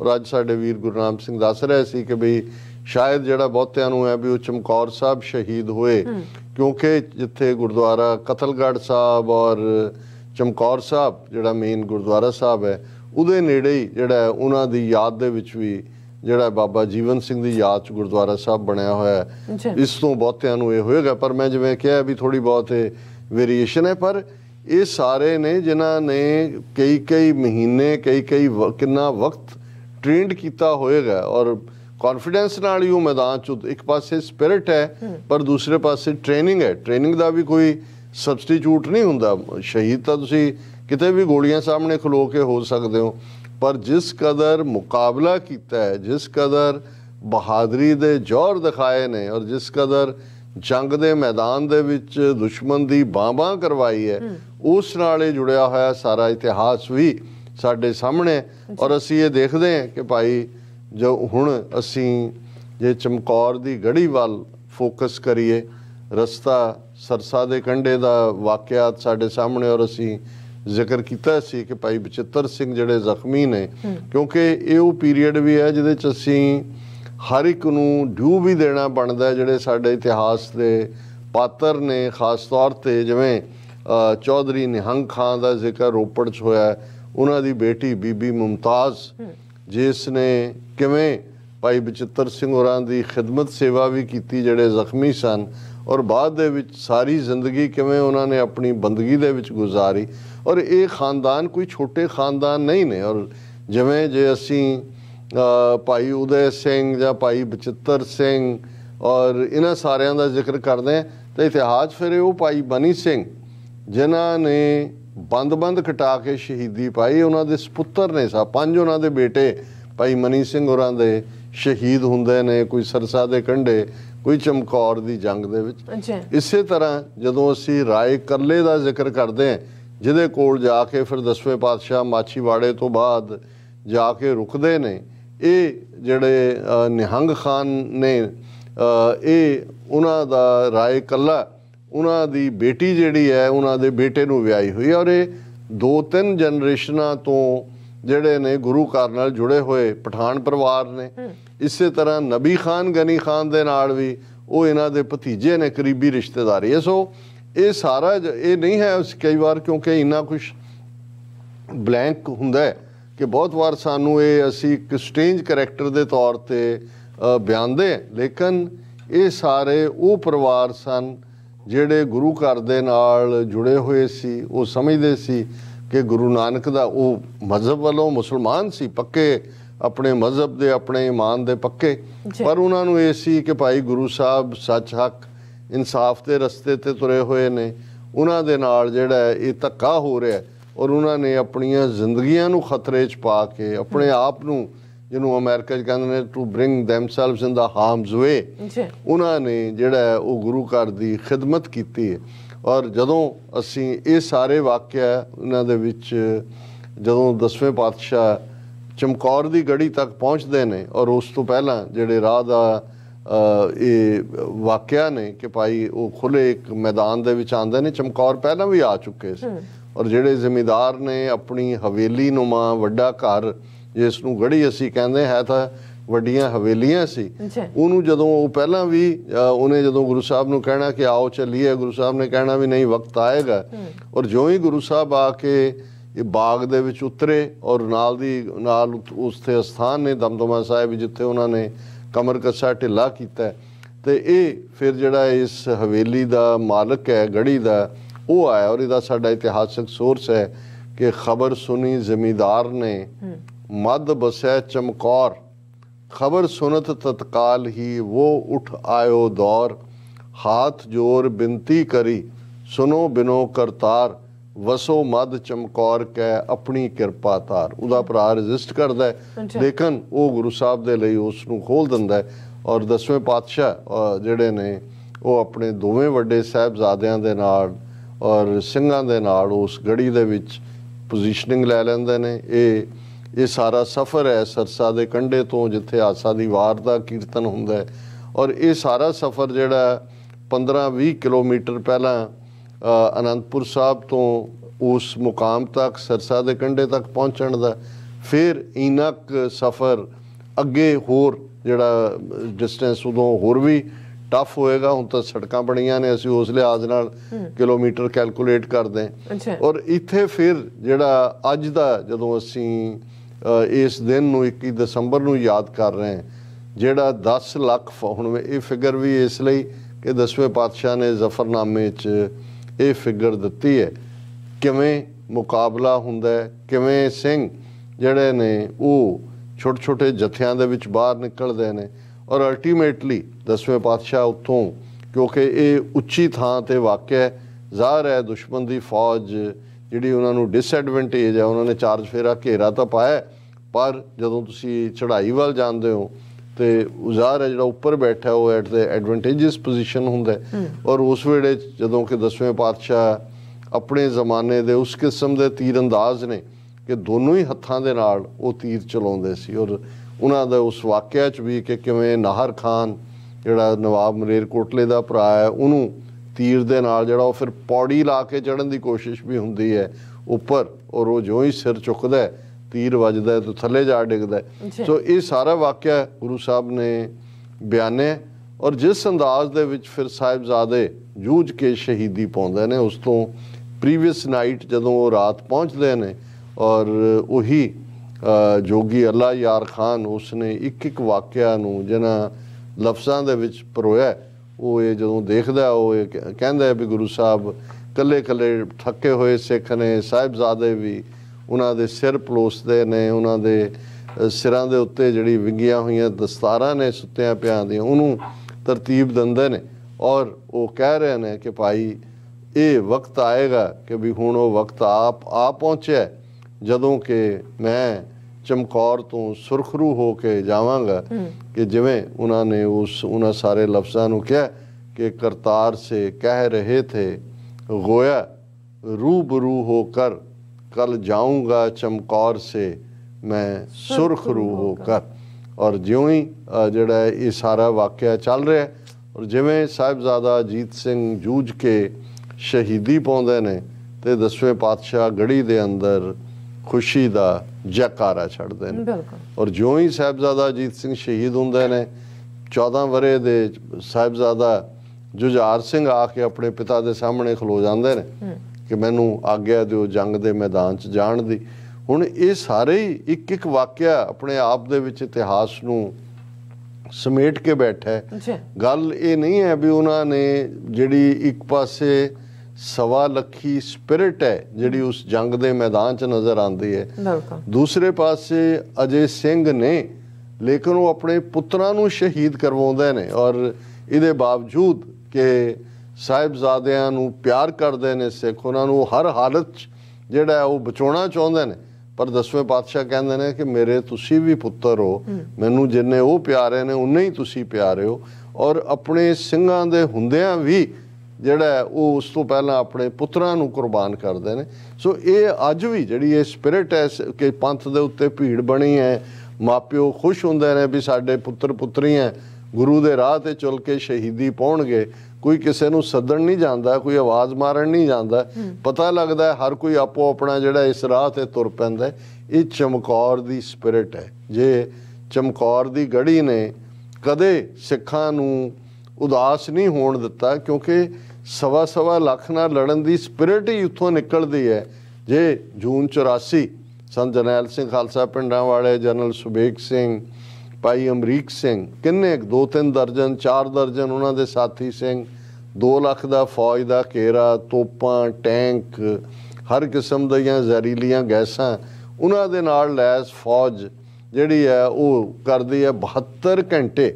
ਜੇ ਚਮਕੌਰ ਦੀ ਗੜੀ ਨਾ ਹੁੰਦੀ ਤੇ ਫਿਰ ਇਹ ਜਿਹੜੀ ਜਿਹਨੂੰ ਮਾਰਕ ਟਲੀ ਔਰ ਸਤੀਸ਼ ਜੈਕਬ ਨੇ Amritsar Mrs Gandhi's last battle ਅਸੀਂ ਉਹਨੂੰ ਬੈਟਲ ਆਫ ਅਕਾਲ ਤਖਤ ਕਹਿੰਦੇ।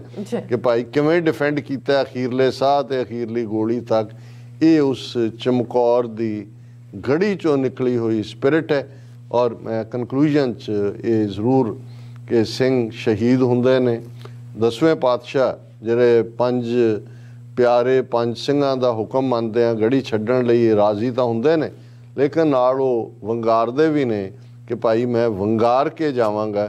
ਔਰ ਜਦੋਂ ਤੁਸੀਂ ਚਮਕੌਰ ਦੇ ਉਹ ਸਾਰੇ ਮੈਪ ਨੂੰ ਦੇਖਦੇ ਹੋ ਗੁਰਦੁਆਰਾ ਸਾਹਿਬ ਤੋਂ ਕੁਸ਼ ਵਿੱਥ ਦੇ ਉੱਤੇ ਜਾ ਕੇ ਜਿੱਥੇ ਗੁਰਦੁਆਰਾ ਤਾੜੀ ਸਾਹਿਬ ਹੈ ਗੁਰੂ ਸਾਹਿਬ ਨੇ ਤਾੜੀ ਵਜਾ ਕੇ ਜੈਕਾਰਾ ਗਜਾ ਕੇ ਜਿਹੜਾ ਉਹ ਐਲਾਨੀਆਂ ਕਿਹਾ ਵੀ ਜਾ ਰਿਹਾ ਜੇ ਗੁਰੂ ਗੋਬਿੰਦ ਸਿੰਘ ਹਿੰਮਤ ਹੈ ਤੇ ਫੜ ਲਓ। ਉੱਥੋਂ ਨਿਕਲਦੇ ਆ ਉਹ ਝਾੜ ਸਾਹਿਬ ਔਰ ਫਿਰ ਕਿਵੇਂ ਮਾਛੀਵਾੜੇ ਤੱਕ ਪਹੁੰਚਦੇ ਨੇ। ਲੇਕਿਨ ਇਹ ਕੰਪਲੀਟ ਨਹੀਂ ਹੋਏਗੀ ਸਾਰੀ ਜਿਹੜੀ ਹੈ ਇਤਿਹਾਸਕ ਦਾਸਤਾਨ ਕਿ ਬੀਬੀ ਸ਼ਰਨ ਕੌਰ ਜਿਨ੍ਹਾਂ ਦਾ ਪਿੰਡ ਲਗਭਗ 2 ਕਿਲੋਮੀਟਰ ਚਮਕੌਰ ਸਾਹਿਬ ਤੋਂ ਰਾਏਪੁਰ ਰਾਣੀ ਔਰ ਇੱਕ ਜਿਹੜੀ ਟ੍ਰੈਡੀਸ਼ਨਲ ਗੱਲ ਹੈ ਜਾਂ ਸੀਨਾ ਬਸੀਨਾ ਹੈ ਕਿ ਉਹਨਾਂ ਦੇ ਬੀਬੀ ਸ਼ਰਨ ਕੌਰ ਦੇ ਪਤੀ ਭਾਈ ਪ੍ਰੀਤਮ ਸਿੰਘ ਵੀ ਚਮਕੌਰ ਦੀ ਗੜੀ ਦੇ ਵਿੱਚ ਸ਼ਹੀਦ ਹੋਏ।